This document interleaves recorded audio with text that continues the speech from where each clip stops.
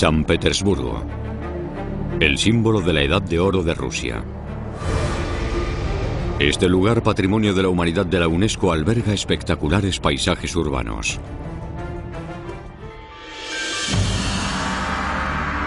Pero tras ese brillo, se encuentra una historia oscura y violenta. Cuando las bombas explotaron, el edificio quedó casi destruido.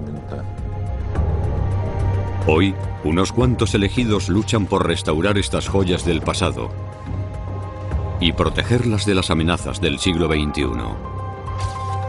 Si este edificio se ve amenazado, en parte mi propia vida también lo estará.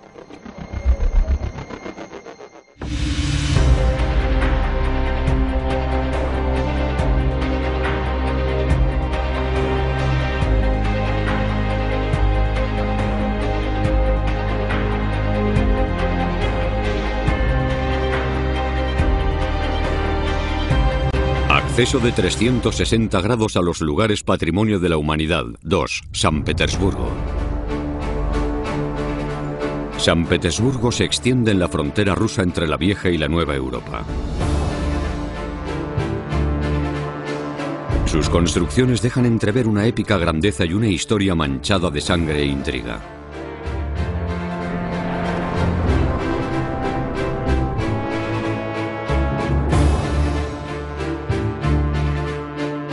El esplendor zarista de sus museos, catedrales y palacios le han otorgado un lugar en la lista de patrimonios de la humanidad de la UNESCO. En las afueras de la ciudad se encuentra el Palacio de Catalina. Fue construido en 1756 como casa de verano para la emperatriz Catalina la Grande.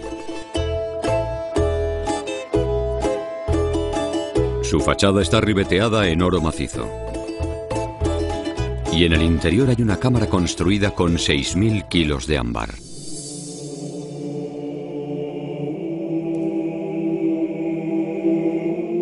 Es un monumento realmente increíble. No tiene precio.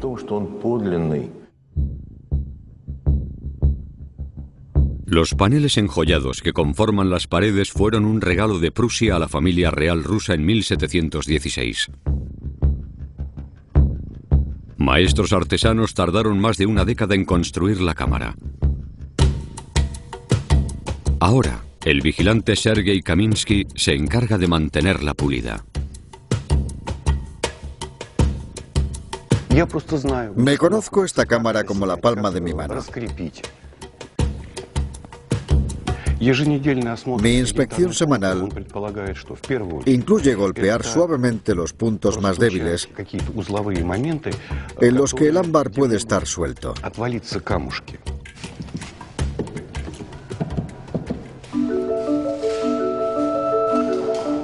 Esta sala podría valer más de 140 millones de dólares.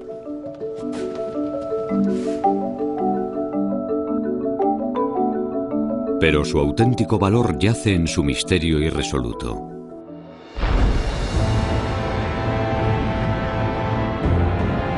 En un asedio de 900 días durante la Segunda Guerra Mundial, San Petersburgo fue arrasado por los nazis. Lo que en su día Alemania ofreció como obsequio, ahora se lo llevó como botín de guerra. Había varios tesoros escondidos en el sótano, pero se dejaron los paneles de ámbar donde estaban. Parecía imposible desmantelar estos enormes y pesados paneles de roble de 5 metros. Pero los alemanes entraron, los empaquetaron y se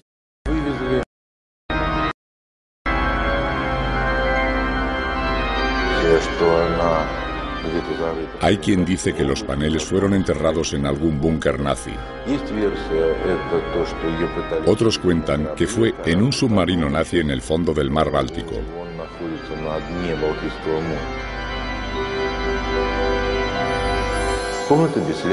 Pero los paneles desaparecieron sin dejar rastro. El paradero de los paneles originales de ámbar sigue siendo desconocido.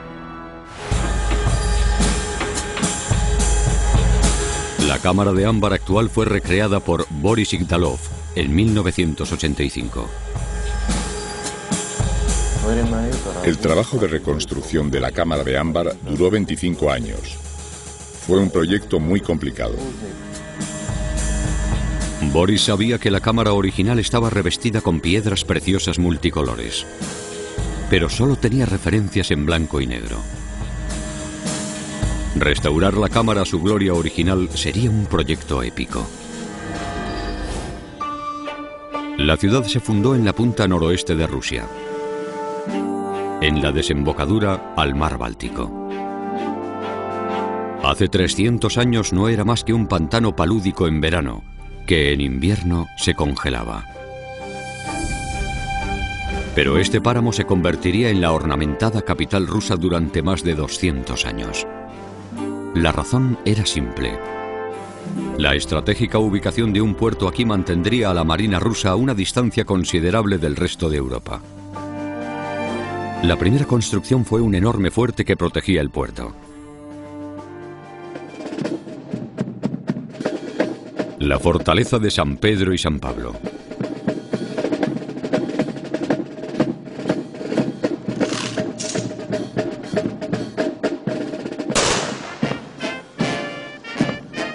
Hoy en día, su cañoneo y cambio de guardia diarios rinden homenaje a los siglos de protección a la ciudad.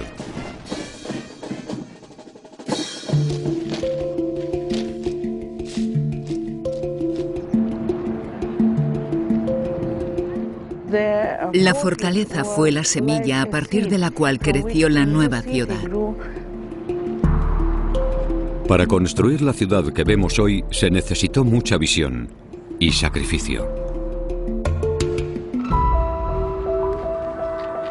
La historiadora Marina Logunova nos cuenta la lucha.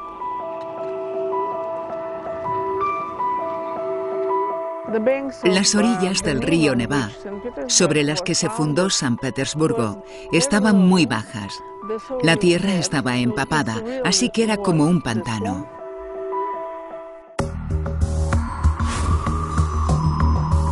Se obligó a miles de prisioneros y campesinos a cavar redes de canales que transformaron el pantano en los cimientos de una nueva ciudad.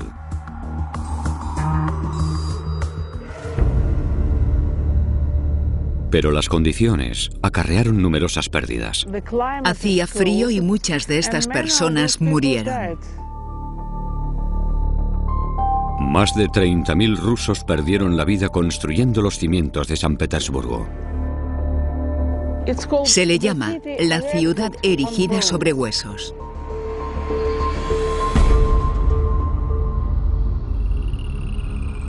Dentro de la fortaleza se encuentra la icónica Catedral de San Pedro y San Pablo.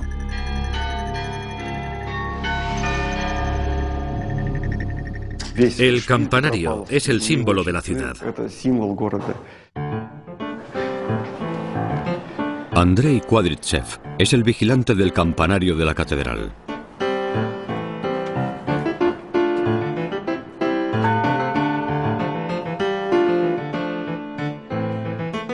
Con más de 120 metros, es el edificio histórico más alto construido en San Petersburgo. El ángel de hierro de lo alto lleva más de 200 años cuidando de San Petersburgo. Los locales lo consideran su ángel de la guarda.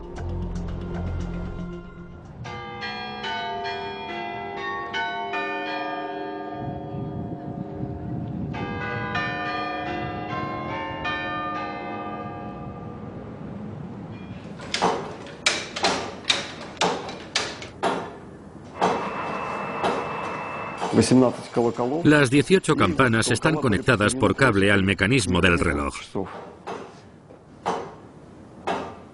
El objetivo es que el histórico reloj siga funcionando como hace 150 años.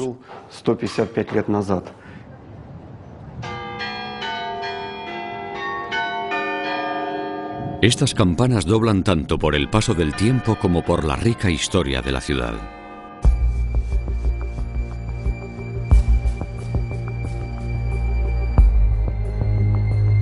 Cada seis horas, las campanas tocaban el himno Dios salve al zar.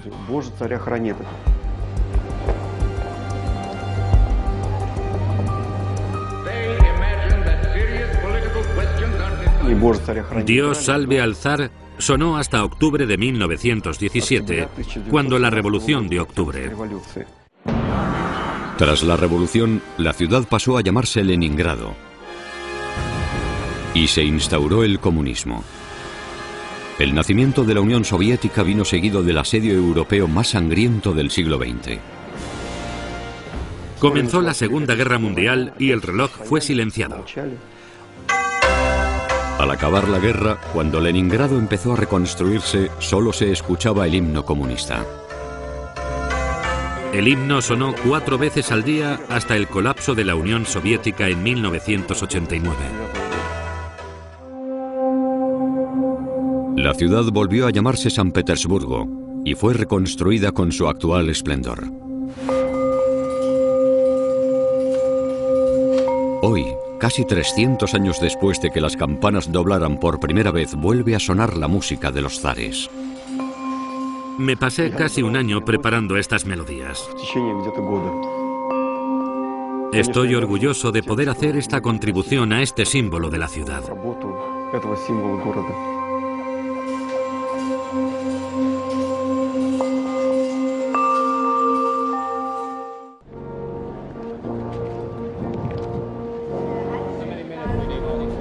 La Catedral de San Pedro y San Pablo es el último resto de la monarquía rusa y uno de los mayores misterios del país.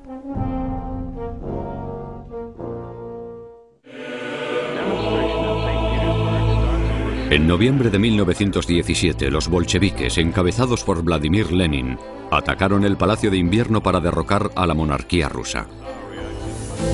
El zar Nicolás Romanov y su familia fueron capturados y nunca se les volvió a ver. Los rumores dicen que la familia fue ejecutada al completo. Pero no se encontró ningún cuerpo. Hubo rumores de que la familia del zar había sobrevivido. El investigador forense Vladimir Soloviev ha dedicado su vida a resolver este misterio. En 1978 se descubrió una prueba importante en un archivo soviético secreto. Era un libro en el que un soldado describía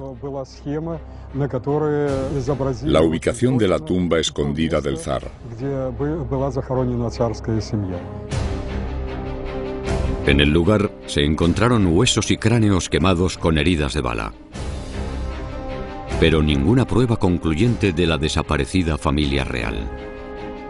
Las opiniones estaban divididas. Aún no se sabía a quién pertenecían los restos. Vladimir y otros especialistas forenses decidieron usar la ciencia moderna para probar si los restos carbonizados pertenecían realmente a los Romanov. Su innovadora investigación se convertiría en titular mundial. Hoy, docenas de palacios en San Petersburgo preservan el legado de los zares.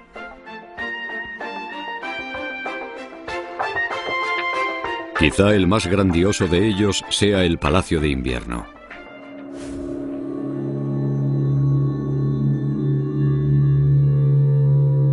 Durante 150 años, este edificio de 1.500 habitaciones fue la residencia oficial de la familia real y la sede ceremonial del poder de Rusia.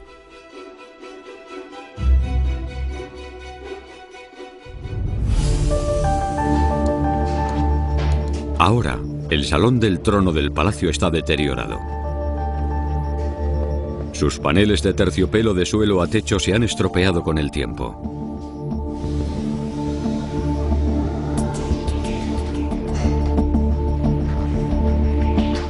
El conservacionista Igor Malkiel intenta encontrar la manera de restaurar los bordados de hace 150 años. Crear unos nuevos desde cero sería imposible. Hay que centrarse en cómo limpiarlos y preservarlos. Igor utiliza la última tecnología láser para ayudar a preservar el pasado.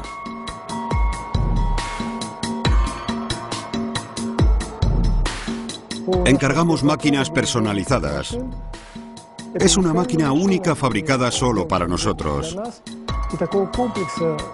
No hay otra igual en el mundo.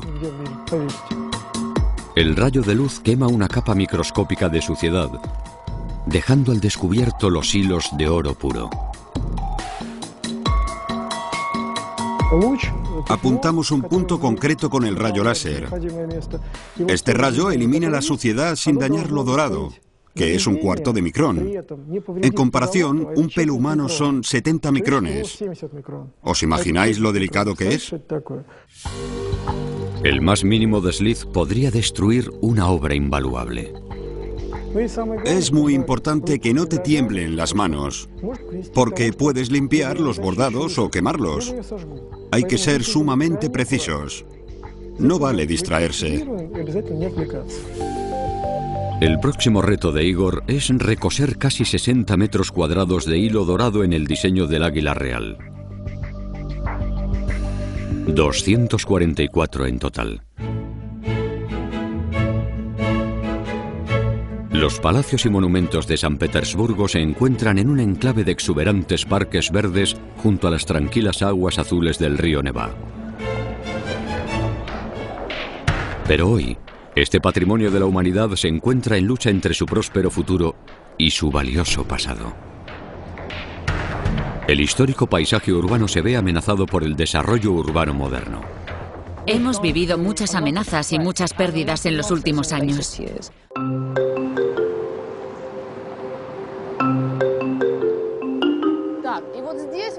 La conservacionista Elena Minchenok trabaja para proteger los edificios históricos del riesgo de ser demolidos por los promotores inmobiliarios.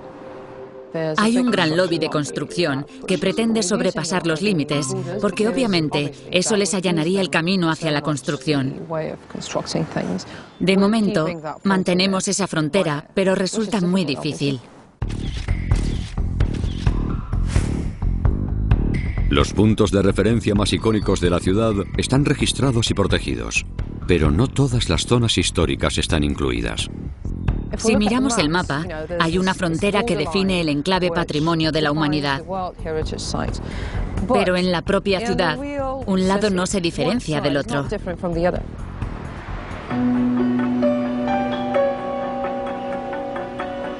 Estas fronteras invisibles ponen en riesgo a otros edificios históricos menos conocidos.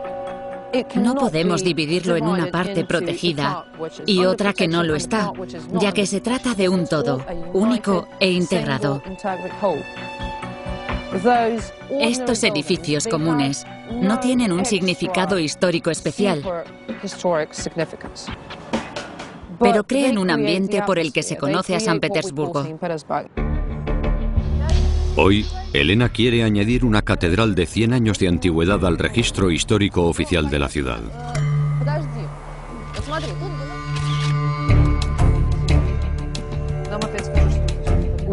Valoramos el estado actual del edificio y después lo analizamos y resumimos para poder agregar el edificio o mejorar sus condiciones.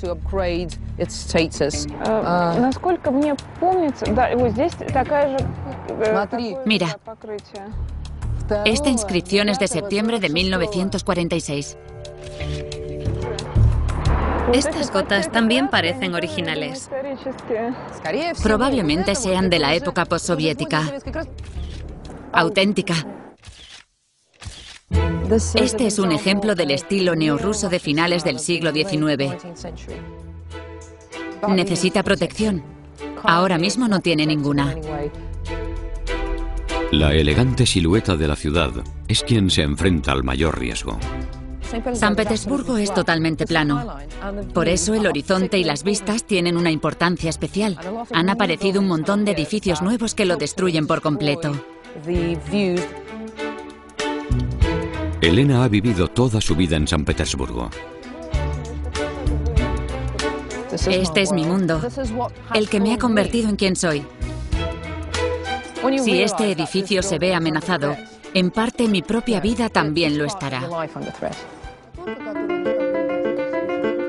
Gracias al esfuerzo de ciudadanos como Elena, la herencia de San Petersburgo se asegura un futuro más cierto. Cada edificio a su tiempo. La pasión de Elena por proteger la herencia de la ciudad ya se está traspasando a la próxima generación. Preguntan a los jóvenes artistas cómo se imaginan el futuro de la ciudad. En mis sueños veo San Petersburgo con más conciencia ambiental y con más museos. Quiero que la ciudad sea bonita para que todos la respeten.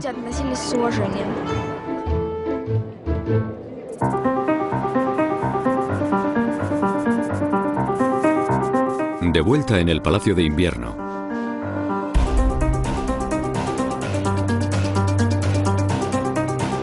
El equipo de Igor Malkiel da el siguiente paso en la restauración de los tapices del Salón del Trono. Espero que con lo que te hemos traído puedas hacer todos los arreglos. El águila está genial. El equipo de maestras costureras de Marina Denisova deben recoser cuidadosamente los invaluables bordados dorados. Es bueno poder comparar así, ver cómo era antes. Así quedará después de la restauración. Los paneles originales del Salón del Trono se hicieron en Francia hace 150 años. Las águilas doradas son el símbolo de la monarquía rusa. Pero el estampado original se perdió con el tiempo. Tras años de búsqueda, el equipo por fin lo localizó. Fuimos a Francia y lo encontramos allí. Confirmamos que eran las mismas águilas al verlas en vivo. Ahora podemos pintar el nuevo terciopelo exactamente igual y con el color original.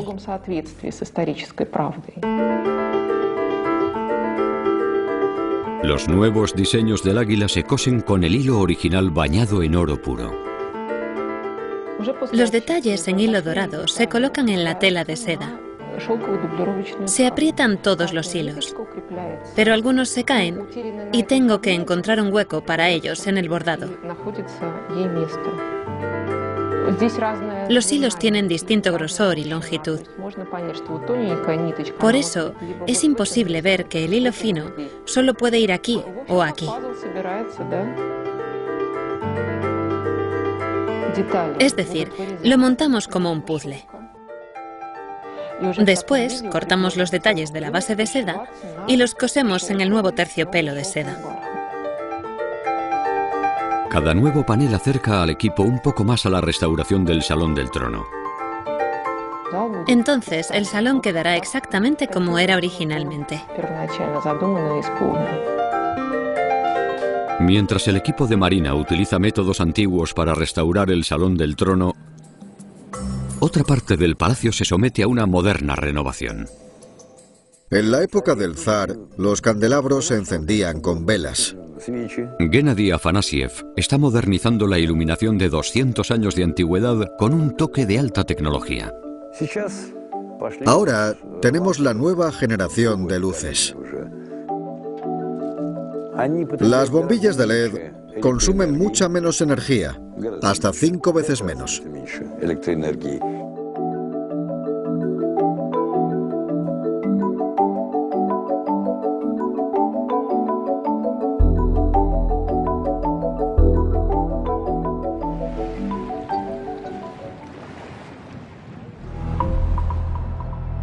En 1991, en San Petersburgo, afloraban nuevas revelaciones sobre el infame y frío caso del último zar ruso.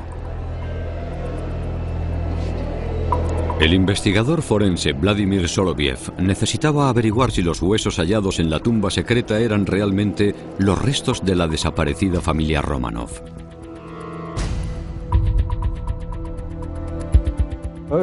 Los dientes y huesos carbonizados estuvieron enterrados en una tumba poco profunda durante 89 años.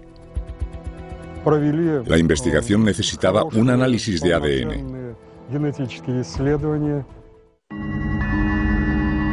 Vladimir consiguió extraer una pequeña cantidad de ADN de los huesos. pero aún necesitaba algo con lo que contrastar.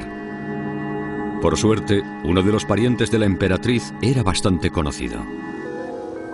Se tomaron muestras de sangre del príncipe Felipe, marido de la reina Isabel II. Hace décadas hubo uniones entre la familia real británica y los Romanov, y el príncipe Felipe estaba emparentado con la propia emperatriz. La prueba fue concluyente. El ADN del príncipe coincidía tanto con los restos femeninos como con los de los niños. Pero Vladimir aún necesitaba una muestra de ADN para confirmar que el hombre adulto era el zar Nicolás. Recibí una llamada del Hermitage. Me dijeron que habían encontrado la camisa de Nicolás y un bombín con manchas de sangre. El zar Nicolás había sido atacado años antes de su muerte.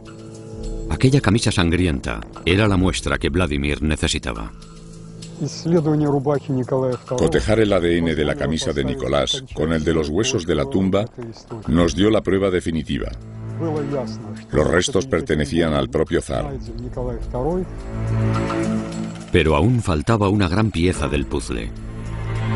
El número de cuerpos de la tumba no coincidía con el número de Romanov desaparecidos.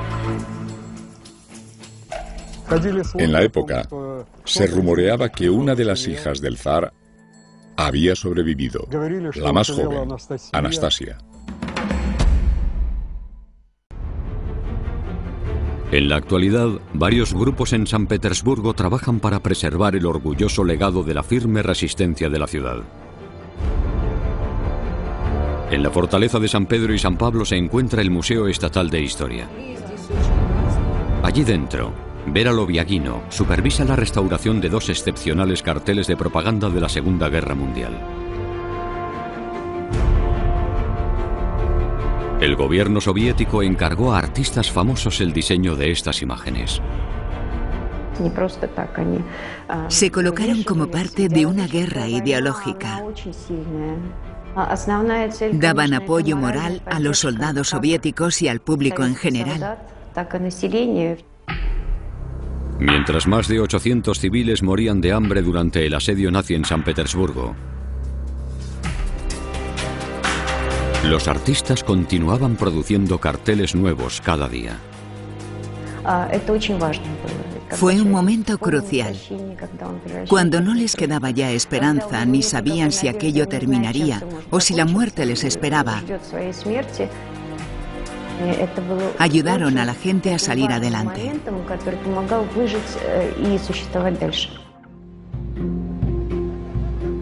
Los ciudadanos de todo San Petersburgo arriesgaron sus vidas para preservar la herencia de la ciudad. Ludmila Boronkina lleva más de 60 años trabajando en el archiconocido Museo del Hermitage. Las salas del Hermitage están repletas de miles de pinturas de maestros como Da Vinci, Van Gogh y Rembrandt. En 1941 el ejército nazi sitió San Petersburgo, bajo órdenes de saquear la incalculable colección de arte del museo. El personal civil del museo tuvo que protegerla. El asedio comenzó el 8 de septiembre.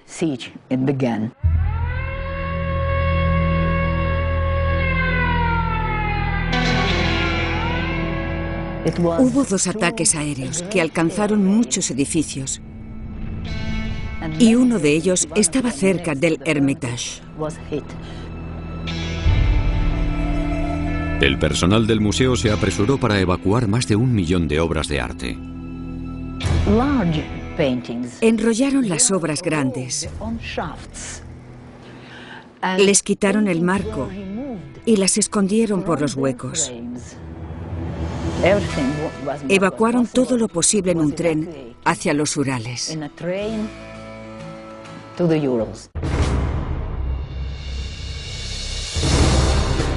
Durante dos años y medio, los nazis mantuvieron la ciudad bajo asedio. Cuando el Hermitage fue bombardeado, el personal del museo arriesgó su vida para protegerlo. En el tejado del edificio había dos personas de servicio. Por entonces mi marido era vigilante del museo. Vieron una bomba colocada sobre el marco de un cuadro. Llamaron a una brigada especial que retiró la bomba. Mientras las bombas caían, otro equipo especial fue requerido para documentar los daños causados al histórico lugar. Les preguntaron, ¿os queda fuerza para ir al Hermitage a retratar? Y contestaron que sí.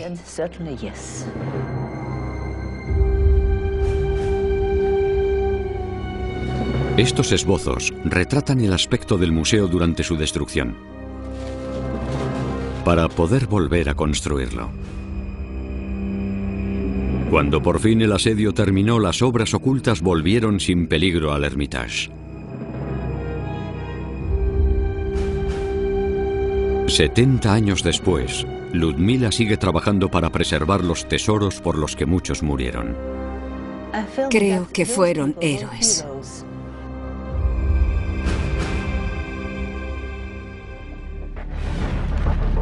El asedio nazi de San Petersburgo se cobró un precio muy alto en la ciudad.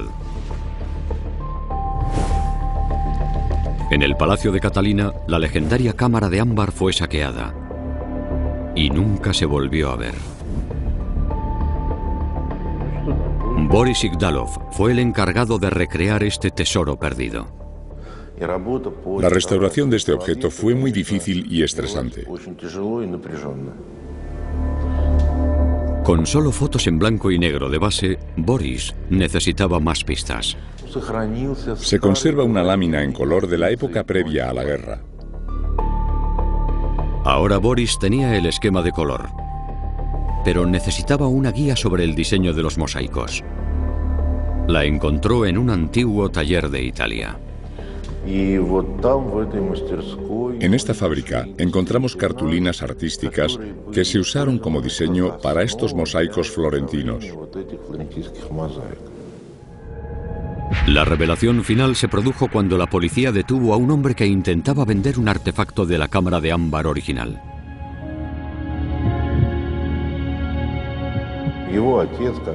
Su padre era un soldado nazi del Frente Oriental. Robó uno de los mosaicos y se lo llevó a su casa en Alemania. Esta es una de las únicas obras del tesoro perdido que se han encontrado. El diseño del mosaico constituye la pista final para el equipo. Tras 25 años de trabajo, la nueva cámara de ámbar por fin se terminó. Pero para Boris, la labor de salvaguardar este tesoro nunca acaba. Para preservar su autenticidad, el equipo emplea técnicas de tallado tradicionales para las reparaciones actuales de la cámara. Déjame ver. Aquí está afilado. La calidad del material no es buena. Hay que coger la piedra y limarla. Entonces, el material limado se colocará según su color y calidad.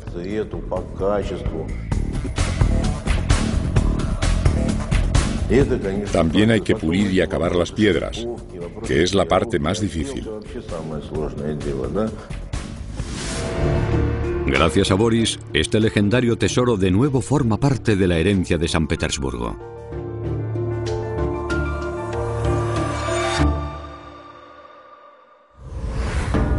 En el centro de la ciudad, el enorme Museo del Hermitage alberga una de las colecciones de pintura más grandes del mundo. 350 salas de exposición acogen a más de 2 millones de turistas al año.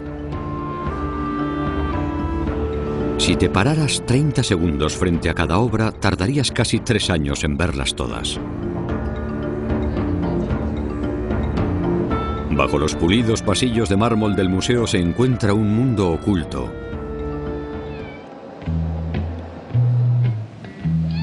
Gobernado por un insospechado guardián de las artes. Los gatos son muy importantes en el Hermitage. Protegen el museo de los roedores. La cuidadora Irina Popietz es la señora de los gatos. Chishenko, cariño mío, mi tesoro. Irina cuida de 70 gatos que viven en el laberinto de túneles bajo el museo. Kutsa, ¿por qué me muerdes? Cuido de ellos, los alimento y los limpio. Sultalsinka, mi pequeño. Conozco el nombre de todos y los quiero mucho.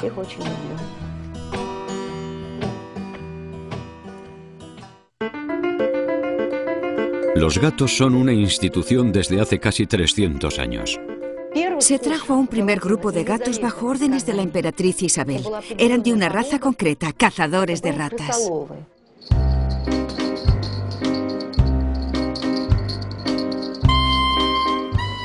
Hoy, Irina se asegura de preservar el legado de los gatos igual que se preserva la ciudad de arriba.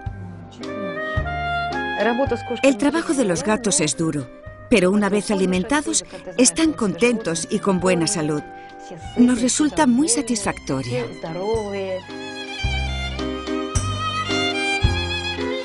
Nos encanta nuestro trabajo. En el legendario misterio de la última familia real de San Petersburgo, la gran incógnita es si la querida princesa Anastasia podría seguir viva.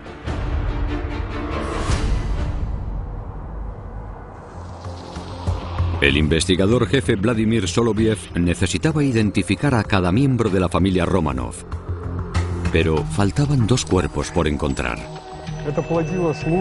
Era el entorno ideal para cualquier farsante que fingiera ser la niña superviviente de la familia real. En 2007, el caso de Vladimir dio por fin el giro que necesitaba.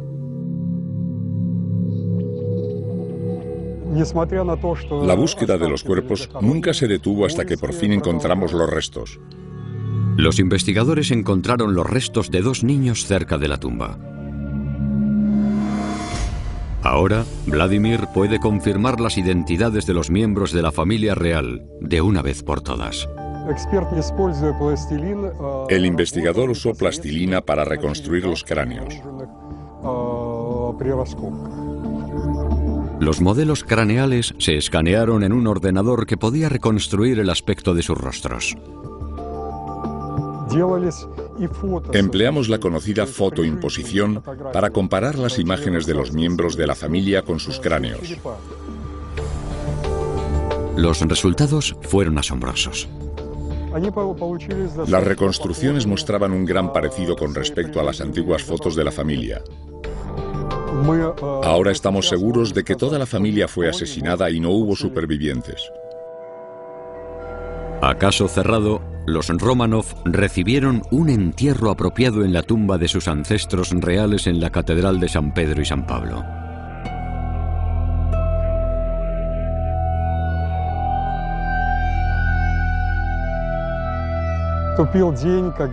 El día del reentierro de la familia, yo estaba temblando.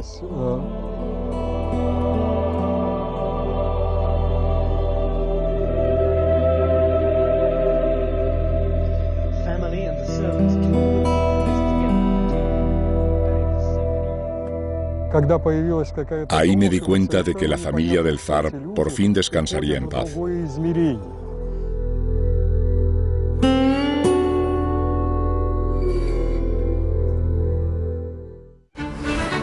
Al otro lado de la ciudad, otro grupo prepara su propio tributo a los Romanov.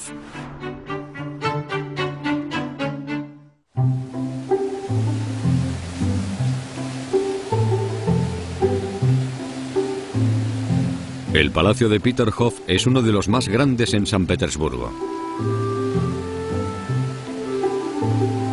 Destaca su gran fuente construida por orden de Pedro el Grande hace casi 300 años. Hoy están preparando las fuentes para un espectáculo. la celebración del 400 aniversario de la dinastía Romanov, los monarcas con el reinado más largo de Rusia. Andrei Birukov supervisa las famosas fuentes.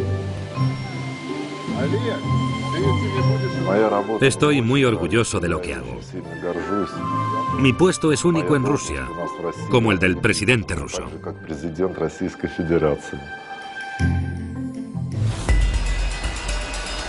El equipo de la fuente está formado por 17 personas.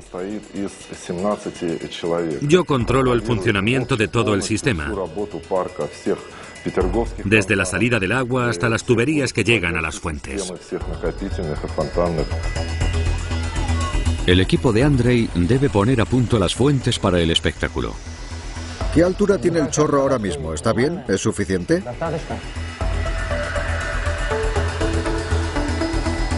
Todo se basa en la diferencia de los niveles del agua.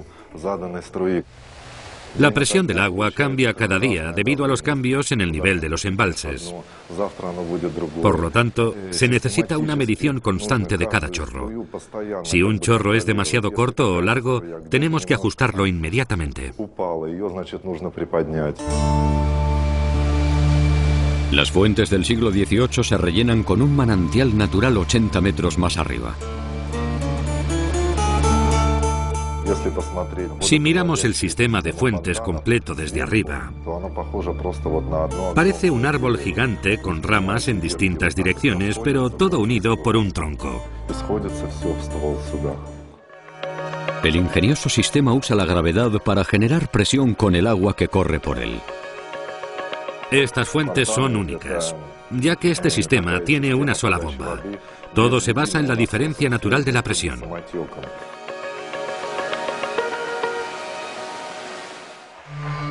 Andrei y su equipo deben asegurarse de que el antiguo sistema esté preparado para el gran evento.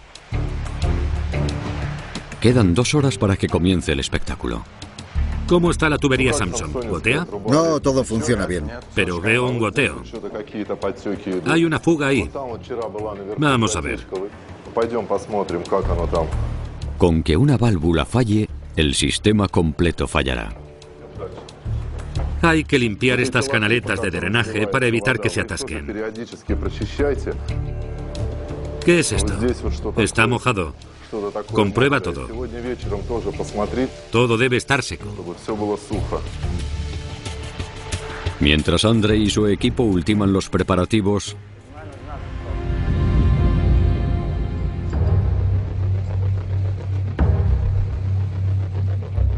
Miles de visitantes de todo el mundo hacen cola para ver la celebración.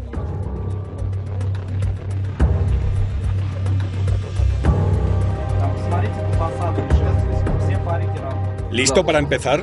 Sí, todo listo.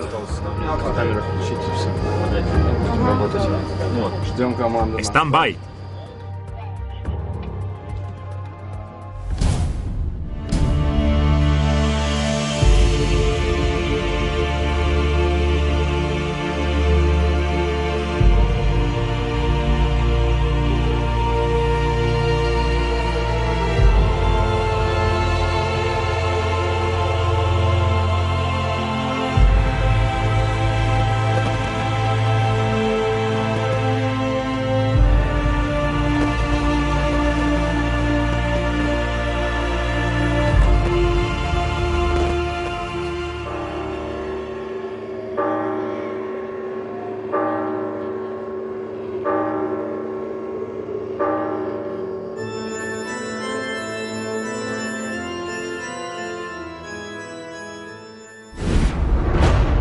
Durante 300 años, San Petersburgo se ha visto desolada en varias ocasiones por su tumultuosa historia.